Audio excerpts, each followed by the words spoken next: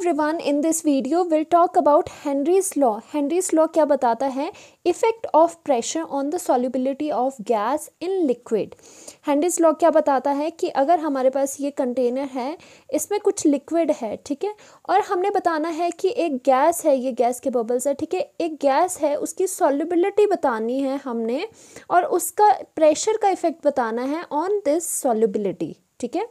सो suppose अगर हमने यहाँ पे प्रेशर लगाया अगर जैसे जैसे प्रेशर हम इंक्रीज़ करते जाएँगे, उस तरह से क्या होता है? सॉल्युबिलिटी ऑफ़ गैस भी इंक्रीज़ होती है। सो हेनरी लॉ ने सबसे पहले हेनरी ने क्या बताया? कि जो प्रेशर है, ठीक है, जो प्रेशर है, वो डायरेक्टली प्रोपोर्शनल टू है solubility of gas solubility of gas जितना प्रेशर उस गैस पे लगाया जा रहा है, उतनी ही ज़्यादा सॉल्युबिलिटी होगी। ना इस एक्सप्रेशन को अलग तरह से हम कैसे लिख सकते हैं कि आपको पता होगा सॉल्युबिलिटी क्या होती है? सॉल्युबिलिटी होती है कि कितना अमाउंट ऑफ़ गैस डिजॉल्व है उस लिक्विड में मतलब कितना अमाउंट अमाउंट का मतलब क्या हो गया? कितनी कॉन्सेंट्रेशन डिजॉल्व है गैस की इन द लिक्विड सो यहाँ पे ये जो सॉल्युबिलिटी है सो so, सॉल्युबिलिटी को हम चेंज कर सकते हैं। सॉल्युबिलिटी की जगह हम लिख सकते हैं कॉन्सेंट्रेशन ठीक है? कॉन्सेंट्रेशन ठीक है? ना कौन से as you all know concentration terms कौन सी होती है? मुलालिटी मुलारिटी बहुत ज़्यादा होती है, ठीक है? ना हमने कौन सी कॉन्सेंट्रेशन टर्म लेनी है जो कि ईजी टू कैलकुलेट हो?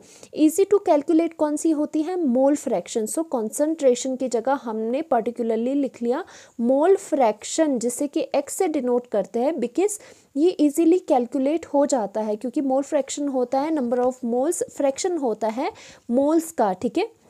सो प्रेशर यहाँ से हमें पता चला pressure is directly proportional to the mole fraction now this is the last equation so इससे प्रोपोर्शनैलिटी का साइन अगर हटा दोगे तो ये इक्वल बन गया, ठीक है? इसकी जगह एक कांस्टेंट आता है that is K H and ये एज इट इज़ रहा. नाउ दिस इक्वेशन जो हम, हमारे पास मिली है this is known as Henry Henry's law equation ठीक है? ये हेनरी लॉ की इक्वेशन है जो हमारे पास मिली है। इसमें एक्स क्या है? यहाँ जी लिख लेते हैं, क्योंकि ये क्या है? Mole fraction of the gas, pressure pressure that is applied on the gas equals to K H K H Henry's constant है, ठीक है? हेनरी कॉन्स्टेंट है, ठीक है? प्रोपोर्शनैलिटी का जो हटा के मिला है हमें कांस्टेंट एंड जो एक्स है that is the mole fraction of the gas now Henry law अगर सम अप करना हो तो हेनरी लॉ क्या था?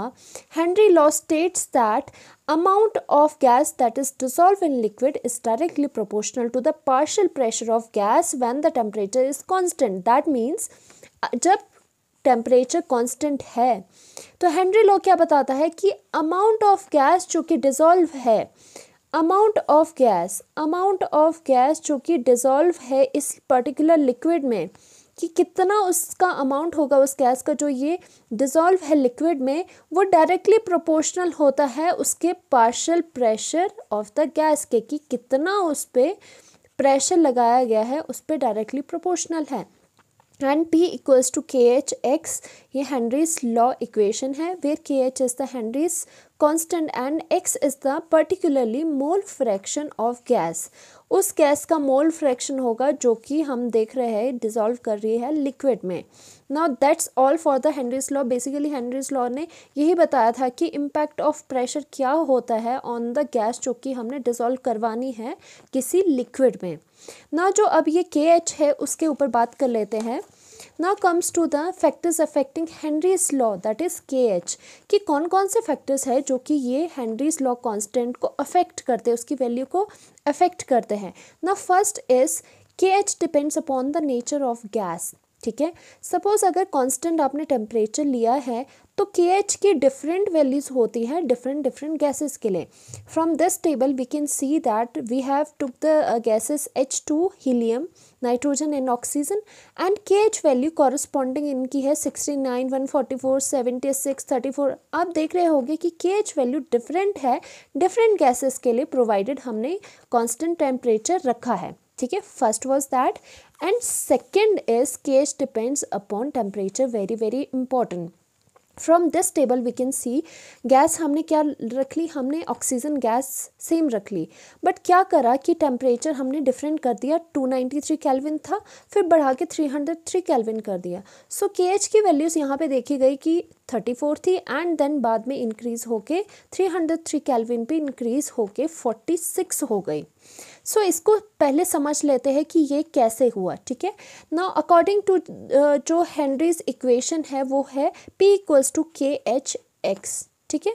प्रोवाइडेड अगर हम पी कांस्टेंट रख दे पी कांस्टेंट रख दे तो के एच क्या हो जाएगा? एक्स दूसरी साइड चला जाएगा is inversely proportional to X ठीक है? यहाँ से ये पता चल गया हमें।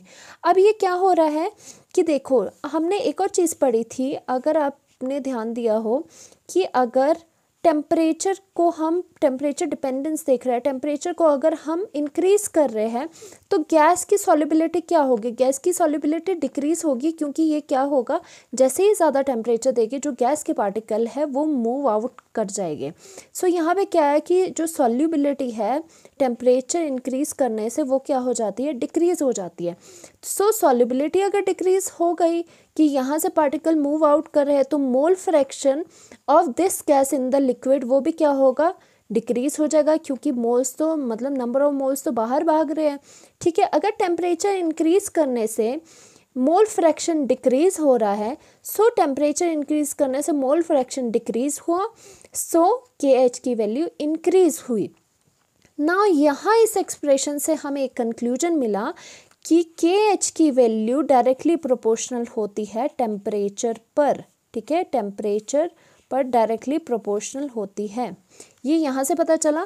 थर्ड लास्ट फैक्टर है solubility of gas K H is inversely proportional to the solubility solubility of gas ठीक है?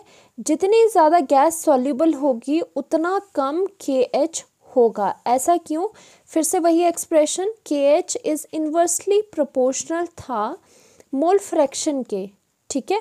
और अगर मोल uh, फ्रैक्शन कम होगा मोल फ्रैक्शन अगर कम होगा दैट मीन्स क्या है? सॉल्युबिलिटी भी कम हो गई तो के एच अल्टीमेटली इंक्रीज करेगा। तो के एच सॉल्युबिलिटी के इन्वर्सली प्रोपोर्शनल है। या फिर आप ये भी कह सकते हो कि के एच मोल फ्रैक्शन के मोल फ्रैक्शन या फिर कॉन्सेंट्रेशन के भी इन्वर्सली प्रोपोर्शनल है।